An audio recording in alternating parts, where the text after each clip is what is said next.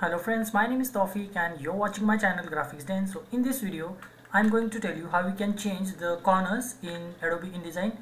Along with that, how we can use different types of corner options in InDesign. So let's get started. So first I will create a rectangle. I will apply a color. And for now, I will turn off the outline. Now we can do this by two ways first is simply click on the rectangle and in this option bar or control panel we can see the option over here. So we have the value of the corners but firstly we need to choose the type. So I will choose rounded and I will change the value.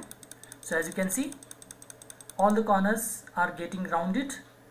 So from here we can change the value and from here we can select different types of corner options like this bevel fancy and some other.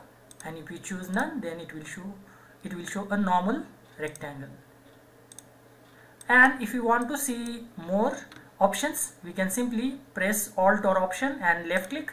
So we will get corner options. And from here we can change the corners individually like this. Firstly I will link them together. I will click none now if I if I want to change the corners individually separately so I will simply turn this off.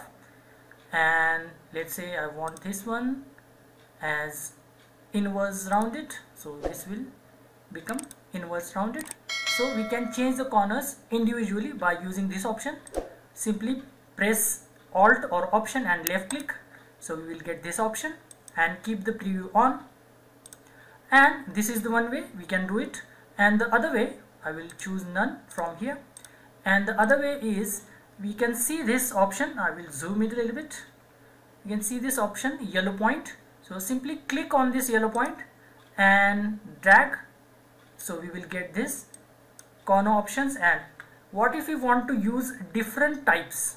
So simply press alt or option and left click. So we will get different types. Alt press and hold alt and left click so we will get different options like this. Again press and hold alt and left click. So this is how we can change corners in InDesign. So this is one method and this is the other method. So using these two methods we can simply change the corner options and use different types in corner options like this. And if you want to change the corners. Individually you can simply click alt or option and left click and simply turn this option off. So we can change it separately like this.